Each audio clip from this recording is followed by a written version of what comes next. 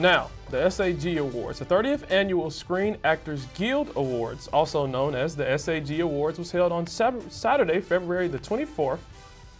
The award ceremony took place at the Shrine Auditorium in Expo Hall in Los Angeles. The ceremony celebrated both television and film stars that were chosen by their peers with the Acting Guild. Here are a few of the winners. Oppenheimer, the film based on the biography American Prometheus, won the award for Outstanding Performance by a Cast in a Motion Picture. The award for Outstanding Performance by a Female Actor in a Leading Role went to Lily Gladstone for her performance in Killers of the Flower Moon. The winner of the award for Outstanding Male Performance in a Leading Role was Cillian Murphy for his acting in the film Oppenheimer. This was just a brief overview of a few of the winners.